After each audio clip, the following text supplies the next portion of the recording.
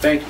Thank you for being here. Thank And, and thank you for just listening at my music. Uh, the song Glorious Fool. It talks about a man that has done everything wrong. He never did anything right. He lied to his wife, lied to his children, he lied to the pastor, he lied to everybody. Doesn't that sound like us? That sounds like an old uh, So this is my new song, Glorious Fool. Half the lies that tell you are not